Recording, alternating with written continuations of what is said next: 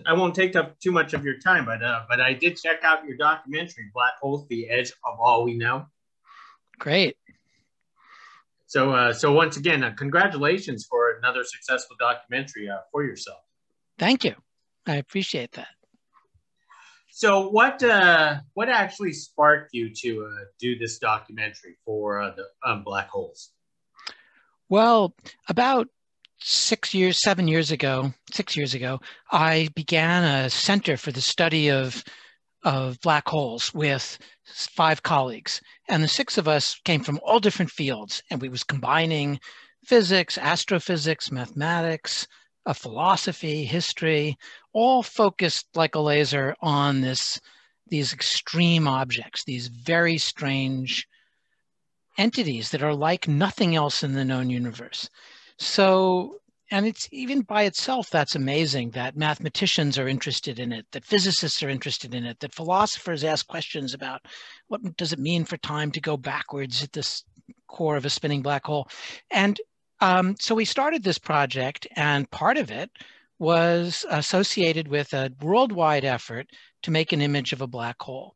And another part was exploring this question that Stephen Hawking had visited upon the world of saying that black holes do something in physics that nothing else does. Every other part of physics, if you know what the present is, you can predict the future and you can predict the past. But black holes bear no trace of how they were made. So even if you know where they are, all of the information about how they were made is lost. So I made this, I decided to make a film about these projects as they went along. And I didn't know how it would come out. It was a big risk. You know, it could have been we didn't find an image. It could be that we couldn't resolve this problem of uh, Hawking's information loss paradox. But I thought it would be really interesting to see science in motion, science being made, not science, here's the answer and how you could understand it more easily, but to look at it with all the ups and downs and twists and turns that real science demands. So that's what I, be, I began shooting in, 19, in 2015, 2016, and then finished, you know, maybe five years later. So it was a long process. So who, who how did you choose the subjects uh, for your uh, for your documentary. Are these are these folks the who's who's of the scientists around the black hole? Uh, to some degree, yes. Uh, Andy Strominger was one of the people who uh, is an old friend of mine, and he was one of the people that we started this black hole initiative with this this center. Um, and he had been working with Stephen Hawking and the rest of that team, Malcolm Perry from Cambridge, England, and a, a young graduate student or then graduate student, Sasha Haco. She was just uh, in the midst of her thesis work. And on the other side, um, Shep Doeleman, who was the uh, then the director of this Event Horizon Telescope collaboration, was also one of the people who started this center. But the collaboration of the, the Event Horizon Telescope collaboration spanned the world. There were um, more than 200 people involved in, in, in, in dozens of institutes in many, many countries. You needed to have a worldwide collaboration in order to make a telescope that could see something so distant and so small on the sky.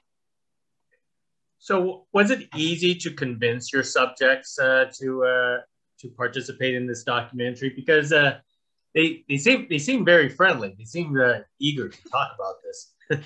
well, I think it's true. This is an area that um, people are excited about, and the people that work in it are as fascinated by the strangeness of these beasts as everyone else. So uh, I think that infectious excitement was definitely there. Many of these people are friends who I work with all the time. I'm a member of the Black Hole of the Event Horizon Telescope collaboration. So I was I worked with these people day in day out, and I think that um, you know there may have been at the beginning people were a bit shy about having a camera there, but soon you just get used to it. And um, the people who are in the film quite like it. And so I'm happy about that. They feel that they were accurately represented. I wish I could have represented everybody on the Event Horizon Telescope collaboration, but if I had had equal time for 200 people, it would have been weeks to watch the film. Uh, it would have been impossible. So I had to choose people who were doing things that were quite central, but also who were able to communicate well on camera. And you know, there are many things that had to come together. Now you're a you you are a professor, um, what of uh, physics? Physics and history of science are my main areas, and I sometimes teach some filmmaking. So how how what was it like to be a fly on the wall, you know, watching this unfold without uh, giving your own two cents into this? Well, you know, sometimes there were difficult moments where I had to sort of I, some some of that I filmed myself, and some of them I had a cinematographer filming. But there were times when I wanted to intervene, and so I had I had to put on one hat and take off another. So that could be complicated on the Event Horizon Telescope collaboration. But it was, uh, and there were moments when it was really thrilling. Uh, to, you know, to see the first image of a black hole emerge on the screen. Um, we know we kept it a secret that we'd had we found this image for almost a year because we wanted to make really sure that the image was here to stay and wasn't an artifact of how we were processing the data or something else and so when we finally could tell people show people it suddenly became the most widely seen image in the history of science a billion people saw it in the first day or two and before that, it had been the secret that we didn't even tell our fam. We didn't even show to our families. We didn't tell them anything. So it was really uh, that was a thrilling moment as well. Now that that part of uh, trying to keep the black hole as a secret for an entire year was part of your documentary. What what what did it struck a nerve that they were trying to keep this a secret when you're trying to film a documentary, or they knew eventually they have to uh, reveal this? Well, we wanted to reveal it. We just wanted to not make a mistake. You know, we wanted we wanted to be confident that the image was robust, that it was here to stay. And if we, you know, if we showed one image and then we said, well, no, it's that's not exactly right. We have to fix it in this way. And no, no, that's not exactly right. Then nobody would have known what to believe. So we had to satisfy ourselves uh, that this was a reliable image and you know filming it um, you know i every you know anybody that was involved in on the film side had to agree uh, not to disclose anything they saw or heard during the during the time we were filming because it really it really required that we work it out and then when we were confident then we would show the world and we published the data and we gave you know conferences, press conferences, and interviews, and we it, we could really talk about it, and that was exciting. But we we had to get to that point. It was nerve wracking. Excellent. Now, um, you know, for those people who don't understand, it was like what it was like an information loss paradox. So basically, what what this entire documentary that they're trying to solve is because information wasn't coming out of the black hole because it was just all stuck in in there. Is, is that is that what the interpretation for a normal person should should yeah, understand? That's right? right. The information loss paradox that Stephen Hawking showed us in 1974 was that you know if you burn a piece of paper practically speaking you can't get the information back but in principle you, if you were a super deduper computer, you could figure out where each grain, each bit of ash came from, and you could reconstruct it. Imagine having a um, movie of a, a flame burning a paper, and then you played it backwards. So you could imagine each of those ashes sort of recombining. So in principle, physics should be able to be played backwards. You should be able to predict the way things were made. I could take this computer I'm looking at and I could see the traces of it, knowing the laws of physics and figure out how it was composed. But black holes are not like that. And what Stephen Hawking noticed or deduced in 1974 was that black holes, you can't tell, you can tell how massive they are, how big they are, and if they're spinning, but you can't tell whether they were made of giraffes or typewriters or desks or other stars. You can't tell anything about how they were made. And he said, this is this presents a real problem for us physicists who want to believe that if we know the true laws of physics, that we could reconstruct how things got to be the way they are. And so, how was the how did this Event Horizon Telescope supposed to work? Because it's telescopes all around the world. So, is it just monitoring this black hole 24, 24 hours in different angles and, just a, trying to gather whatever data that comes out, and then just to form one image? So if you had a telescope, this, this little tiny telescope, and you looked through it, you can only get a certain amount of magnification. And you know, you get a bigger telescope, you get more light, but also more magnification. And the big telescopes, seen pictures of them on the tops of mountains, the big optical telescopes, have enormous mirrors on them that collect the light and help magnify the image. So we know, roughly speaking, how big these black holes are. We know roughly speaking, how far away they are. These, these are supermassive black holes, millions or billions of times the mass of our sun. Um, but there's this one that we made an image of is so far away, 55 million light years away. That means they were the light that started out that we're seeing now was launched from around the black hole not that long after Dinos, the last dinosaur laid his, his head down and died. So this is a long time ago. And if, but it's tiny on the sky. It's like trying to read a, the date on a coin in Mexico City from New York. I mean, it's just, or looking at an atom that's held out at the end of your fingers. It's a tiny image on the sky. So you need it. You could calculate how big a telescope do you need to do that? Well, it turns out you need something that's roughly speaking the size of the Earth. Well, we hmm. can't build a telescope the size of the Earth.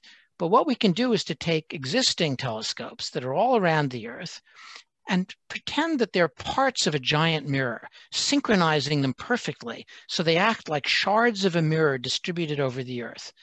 And with that amount of amplification of the image, we can actually hope to see something this tiny size on the sky. Wow. Well, that's a that that was some quite of, of a venture that you that you actually have uh, for the past uh, five five years. Now, you you were fortunate enough to actually include uh, Stephen Hawking into into the documentary. I mean, he's a he's a hero to the science community. How how was that uh, to you? And um, I also noticed that uh, you didn't really had a chance to interview him. Yeah, you know, for for, for what Stephen had to do to answer a question, mean, sometimes this is hard to tell when you have heard or see him giving a speech.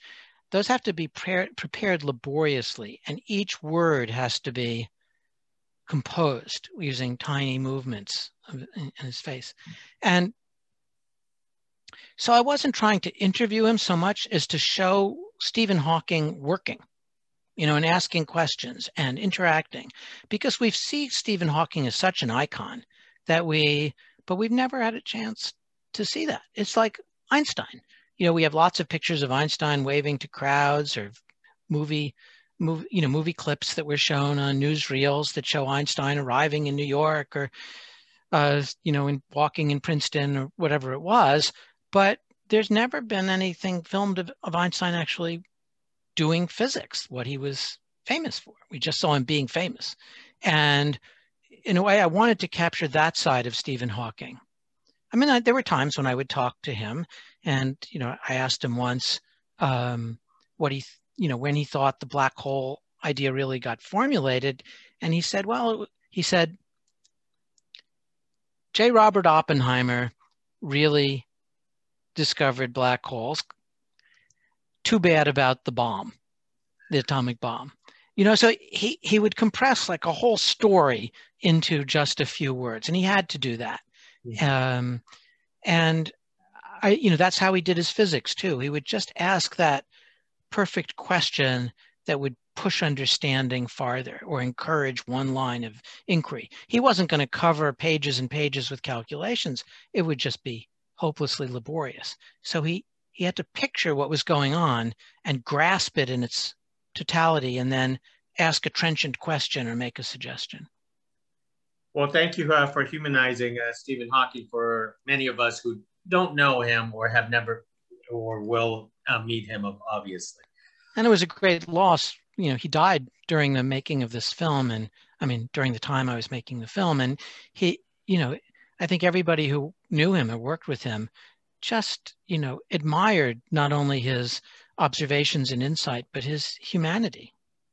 Hmm, absolutely. Well, let, let, me wrap it up with one more question. I've taken a lot of your time already, uh, Peter. When people have a chance to view your uh, documentary, what is the one most important take that you hope that they would walk away with?